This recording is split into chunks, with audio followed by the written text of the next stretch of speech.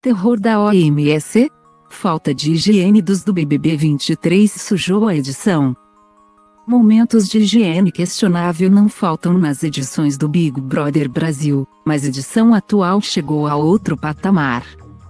A conduta de vários brothers do BBB 23, Globo, virou ponto de discussão nas redes sociais e chegou a ser criticada até por órgãos de saúde.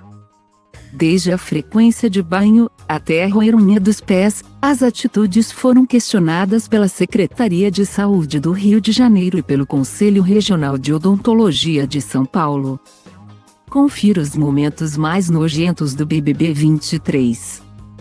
No meio de uma conversa com Amanda na casa, Paula casualmente levou o dedão do pé até a boca e pareceu morder uma unha. Ela depois explicou que estava tirando um courinho. A atitude passou despercebida pelo elenco, mas chocou as redes sociais. Uma foto do box do banheiro coletivo no BBB viralizou ao mostrar o chão repleto de manchas e crostas de sujeira. No programa, todos os participantes precisam dividir um único chuveiro, embora o líder da semana e seus escolhidos possam tomar banho no quarto privativo. Vários brothers relataram passar vários dias sem banho ou sem lavar o cabelo no programa. Uma delas foi Amanda, que levou bronca de colegas por passar alguns dias sem higienizar a cabeça.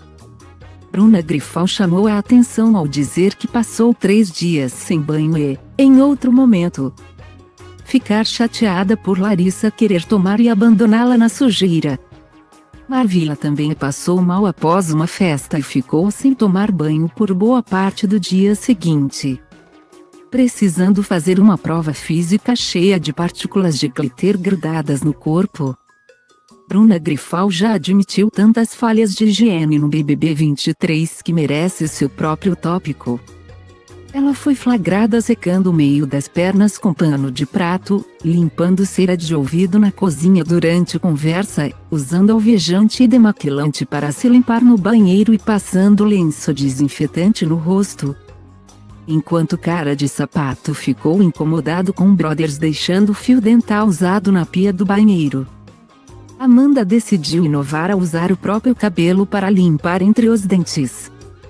A conduta foi flagrada várias vezes e provocou comunicado do Conselho Regional de Odontologia de São Paulo.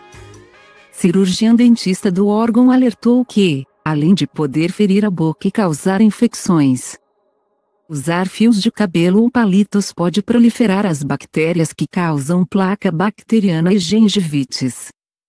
O nojo de alguns é a tesouro para outros.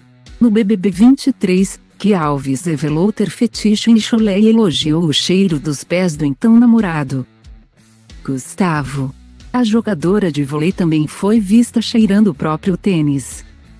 Que, quando acabo os meus treinos, sabe o que eu faço? Arranco a minha meia e fico cheirando. Eu amo. O meu cheirinho de chulé é cheiro de bebê. É um chulezinho tão gostoso, azedinho.